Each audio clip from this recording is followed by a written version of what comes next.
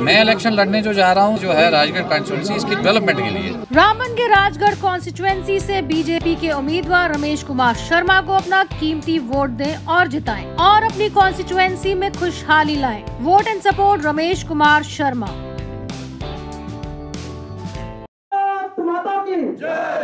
Bharatiya Janata Party आज बड़ा खुशी का दिन है कि हमारी भारतीय जनता पार्टी के कैंडिडेट श्री रमेश कुमार शर्मा जी की नॉमिनेशन हुई। पार्टी के संगठन के महामंत्री श्री अशोक कोल जी मंच पर बैठे हुए सम्मानित नेतागण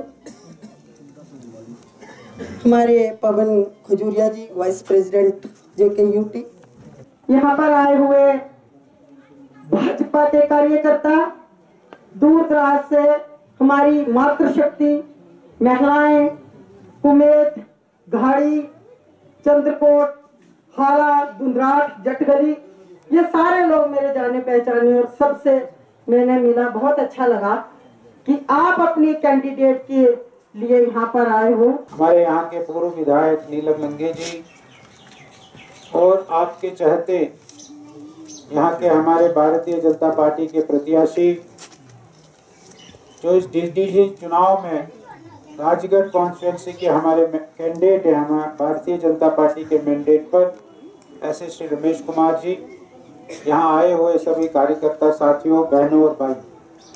मैं पिछले पाँच छः दिनों से इस पुराने डोडा ज़िले के प्रवास पर हूँ। यहाँ से जिला परिषद में भारतीय जनता पार्टी का कैंडिडेट जिताकर भेजोगे तो आपके सब काम होंगे जो जिला स्तर पर करने। ब्राह्मण को यहाँ से जोड़कर बन गई है।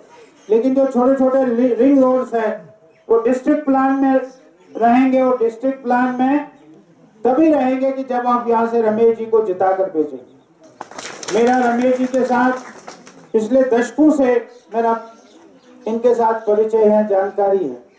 हम अगर रामबन में कोई कार्यकर्ता को कहते हैं कि रामबन में कौन है तो हमारे जबान पर सबसे पहले रमेश जी का ही नाम आता ऐसे भारतीय जनता पार्टी के कर्मठ कार्यकर्ता, भारतीय जनता पार्टी के निस्वार्थ कार्यकर्ता आपके इस क्षेत्र से आपने उसको जिताकर भेजना है जिला परिषद में टीडीसी में। तो मुझे आशा है, विश्वास है कि आपके सारे काम पूरे हो जाए कुमार शर्मा जी, जो कि अभी अभी अपना फॉर्म सबमिट करके नॉमिनेशन करके आए हैं। मैं उनको अपनी ओर से और पूरी विधानसभा रामबन की ओर से दिल की अमीर गहराइयों से मुबारकबाद पेश करता हूँ। हमारे बीच में हमारे भारतीय जनता पार्टी के प्रदेश के संगठन महामंत्री मान्य अशोक कौन साहब को हम सबने बड़े तरीके से सुना। के इंचार्ज मान्य। जुगल किशोर गुप्ता जी।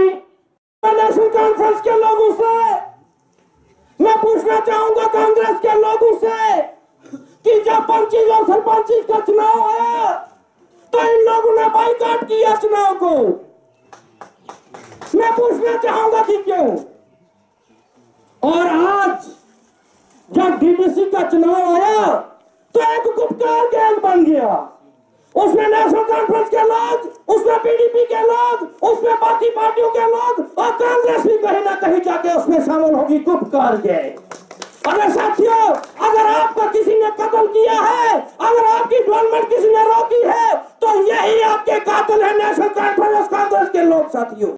आप लोगों को उस गुलामी से आज़ादी दिलवाई है और उसके बीच में उनने आपसे एक ही चीज़ मांगी है कि जो तिहत्तर साल से कोई भी सरकार जम्मू कश्मीर ना करवा पाई।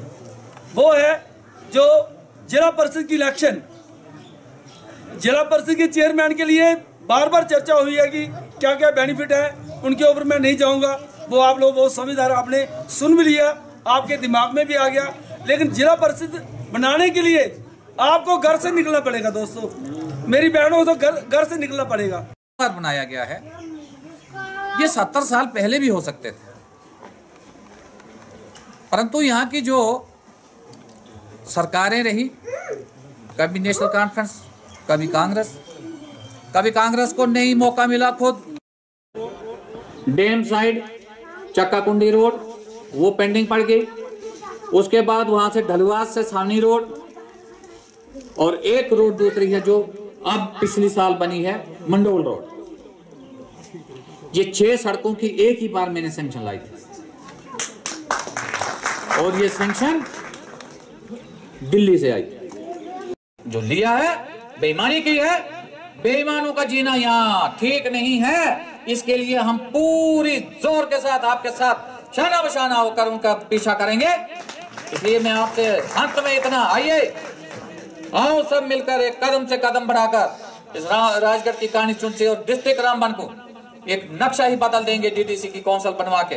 पूरे डिस्ट्रिक्ट रामबन को। तैतीस साल पार्टी में लगाए मैंने पूरे तैतीस साल। और जब मैं पार्टी में आया था तब पार्टी ने 270 वोट लिए थे। बहुत से लोग पूछते हैं क्या किया है इसने? इतना पुराना है यहाँ पर पार्टी में। आज अठतीस हज़ार वोट हैं इसका हमारी कॉन्स्टिट्यूंसी से हमको मिलते हैं। भारतीय जनता पार्टी भारतीय जनता पार्टी हमें राजगढ़ हमें राजगढ़ बड़ा मन में प्रसन्नता हुई कि आज यहाँ पर जब हम राजगढ़ की ओर चले, मैं एक बार पहले भी जहाँ पर पहुँचा था, लेकिन आधे रास्ते से हम वापस चले गए थे। रास्ता बड़ा खतरनाक था।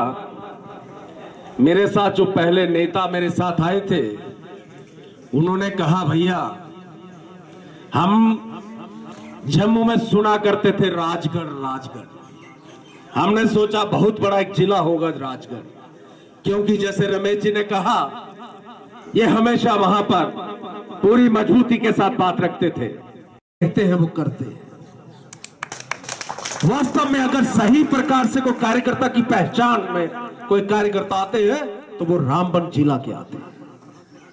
इन्होंने वहाँ पर जो काम किया आज हम जिस घर के अंदर, जिस गाँव में कोई कार्यक्रम के लिए जाते हैं तो वहाँ पर वो लोग कहते हैं कि यहाँ पर हमारे रामबन के कुछ कार्यकर्ता इनके नाम लेते हैं कि वो हमारे द्वार तक आए थे। उन्होंने केंद्र सरकार की योजनाओं का हमें जानकारी दी थी और हमने उसका भरपूर लाभ लिया है। ये कार्यकर्ता की पहचान होती है। उसी के साथ, आज यहाँ पर आकर खुशी इस बात की हुई या परशोत्तम सिंह जी मिले तो मैंने कहा, आजकल क्या चल रहा है? तो इन्होंने कहा, कामकाज तो चल रहा है, लेकिन पार्टी का काम कर रहे हैं। मैंने कहा, आगे पार्टी की तरफ़ से क्या मिला? इन्होंने बोला, पार्टी की तरफ़ से बहुत बढ़िया जो चीज़ मिली है।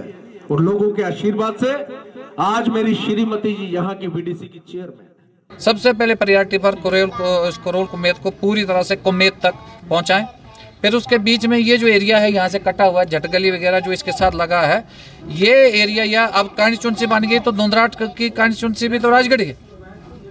वहाँ से उनको जाना पहले रामबन है, फिर यहाँ आना मैं चाहूँगा कि इस रोड को भी, इसको दंदराट और इसको झटगली को, इस करोल कुमेत के साथ राजगढ़ को जोड़ा जाए, ताकि राजगढ़ में आना इनको आसान हो जाए। आज भी हम इतने लोग जो यहाँ पर लाए हैं सौ डेढ़ सौ आदमी आया है। उनको वहाँ से रामबन जाना पड़ा। रामबन से चंद्र पावर का जो हद तक सवाल है ये तो इसमें मैं कोशिश करूँगा क्योंकि पार्टी का प्रत्याशी हूँ और पार्टी में तैतीस साल से काम कर रहा हूँ तो सेंटर में भी हमारी सरकार है। हमारे जो मंत्री जी हैं डॉक्टर जितेंद्र सिंह जी उनकी भी इसमें सहायता लेंगे और हर संभव कोशिश करेंगे उसको मैन पावर को बढ़ाने के लिए। एजुकेशन सिस्टम को लेकर सर आप क्या कदम उठाएँगे? एजुकेशन का सिस्टम तो हमारा आपको पता ही है यहाँ इस एरिया की एजुकेशन की ये हालत है। यहाँ पर, अगर हमारी हायर सेकेंडरी है, यहाँ पर प्रिंसिपल ही नहीं है। जब उसका हेड ही नहीं है तो कैसे वो उसका जो जो सिस्टम है कैसे चलेगा? ऐसे ही हमें, हमारे साथ में धुंधराट हायर सेकेंडरी है और कंठी हायर सेकेंडरी है। इनमें कहीं पे भी कोई प्रिंसिपल नहीं है और एक प्रिंसिपल संचालित कर रहा है बटोत वाला। तो वहाँ पर तो उसकी तो जो सैलरी है, उसमें भी कई बार टीचर्स लेक्चरार जो हैं, उनको प्रॉब्लम आ रही है, उनकी सैलरी टाइम की नहीं निकलती है। इस पर मैं कोशिश करूँगा कि हम अपने हाईकमांड से बात करके मिनिस्टर साहब का इसमें सहयोग लेके तो ये जो हमारे स्टाफ की कमी है इसको पूरा करने की कोशिश करप्शन को काम करने के लिए सर क्या कदम उठाएँगे? इसके लिए तो मैं बहुत पहले से बड़ा खिलाफ हूँ। करप्शन के करप्शन का तो मैं छोड़ने वाला नहीं कि कोई भी मेरे काबू में आ जाएगा तो मैं उसको छोड़ूँगा नहीं। करप्शन करप्शन का जहाँ तक सवाल है मुझे एक्सपीरियंस है मेरा अपना। मैं सरपंच था। उस दौरान में भी उस दौरान सरपंच में भी मैंने किसी को भी करप्शन करने की इजाज़त नहीं दी। देखो जनता जनार्दन है। और वोटर का आशीर्वाद जो हमें मिलेगा, तभी जाकर हम कहीं अगला स्टेप पर काम कर सकेंगे और ये जनता जनार्दन हमारा साथ देगी। वोटर हमारा साथ देंगे, हम इनके काम आएँगे।